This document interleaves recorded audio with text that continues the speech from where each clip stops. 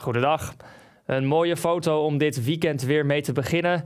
Ochtendrood van morgen en dat betekent natuurlijk soms ook water in de sloot. En dat gaat vandaag zeker op. In het zuidoosten is het al even bezig, een buiengebied dat vanuit het zuidoosten overtrekt. En ook de rest van het land gaat ermee te maken krijgen. Soms ook met een klap onweer. En daarmee is het echt wel erg wisselvallig te noemen.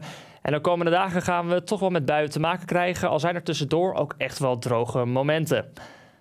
Dan pak ik even het Icon weermodel erbij om te zien hoe de huidige situatie eruit ziet op de weerkaart. Een lage drukgebied gaat zich verplaatsen vanuit Duitsland over Nederland richting de Noordzee. Met daarbij dus die buien die gepaard kunnen gaan met onweer en veel regen in korte tijd. Morgen overdag vaker droog, soms nog een enkele bui, maar ook ruimte voor de zon.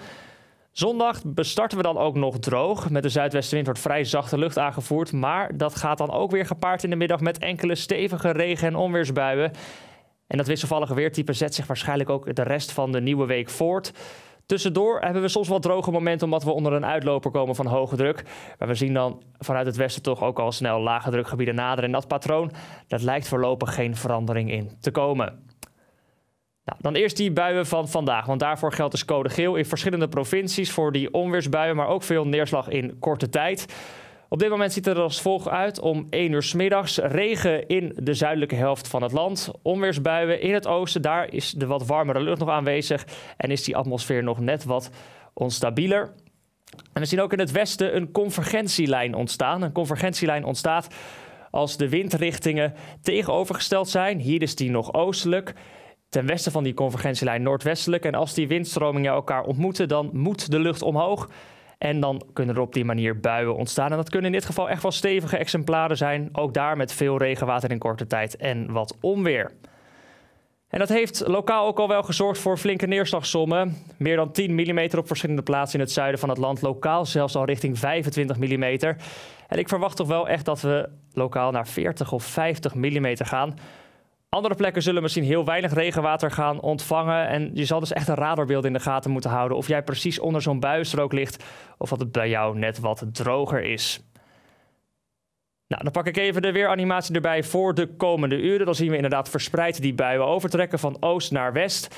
Dat gaat ook vanavond nog door. Waarschijnlijk dan meer de nadruk uh, over het noorden van het land. Maar ook in Zeeland kan het dan af en toe echt wel stevig doorregenen. Zaterdag overdag wordt het dan langzaamaan wat droger. Maar in de middag kunnen nog enkele buien ontstaan. Met name ook weer in de noordelijke helft. En dus hebben we voorlopig die paraplu nog wel nodig. Maar waarschijnlijk dus morgen wel even een droger intermezzo. Voor vanmiddag ziet het er dan als volgt uit. Temperaturen, dit zijn de maxima, zo tussen 17 en 22 graden. In het noordoosten blijft het ook nog het langst warm, maar in de regen wordt het echt maar maximaal 15 graden. Misschien zelfs maar een graad of 13. Die onweersbuien die verspreiden zich dus uiteindelijk verder over het land.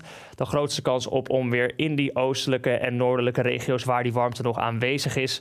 En bij dat alles staat een zwak windje uit noordelijke richtingen.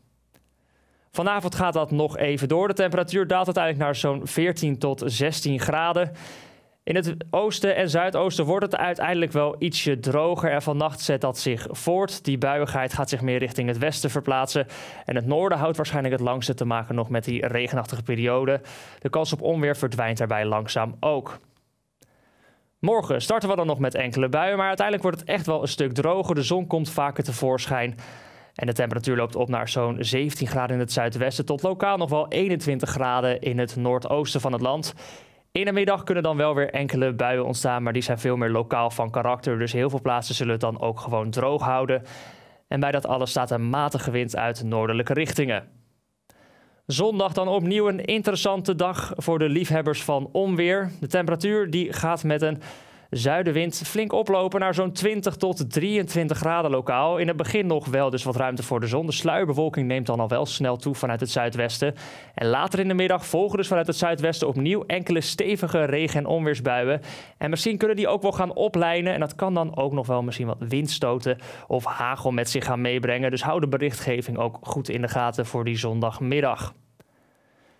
Kijken we dan naar de dagen daarna, dan zien we in ieder geval dat de temperatuur echt wel een stapje terug doet. Zo'n 18 of 19 graden gemiddeld, dagelijks kans op een bui. Tussendoor ook wel wat ruimte voor de zon. Maar het is voorlopig dus echt wel wisselvalligheid dat de klok slaat. En zomerse warmte, dat zit er dan ook niet meer in. Tot de volgende keer.